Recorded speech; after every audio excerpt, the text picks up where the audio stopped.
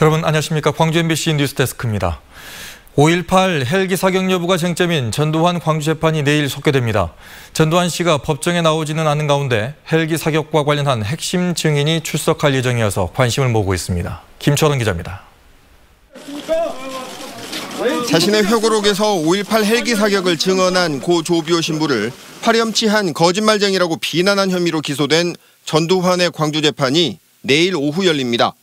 이번 재판에서는 5.18 헬기 사격과 관련해 전일 빌딩의 총탄 자국을 감정했던 국립과학수사연구원 김동환 총기안전실장이 증인으로 출석합니다.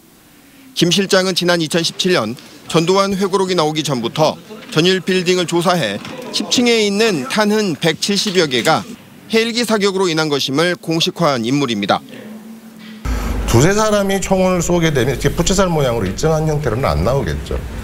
어, 이렇게 쏘는 바퀴에 따라서 이렇게 그 이렇게 겹칠 수도 있고 어, 그런 정황으로 봐서는 어, 헬기에서 아마 그 이쪽 그 창문에 거치된 어, 기관총을 사용하지 않았을까라고 이제 추정을 할 뿐입니다.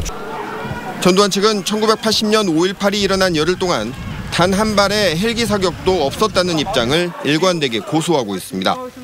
그렇기 때문에 내일 재판에서 어떤 신문을 할지 고심 중인 것으로 전해졌습니다. 수많은 사람들이 죽었는데 왜 책임지지 않습니까? 왜 책임지지 않습니까? 한편 전 씨는 법원이 불출석을 허가함에 따라 내일 재판에는 출석하지 않습니다.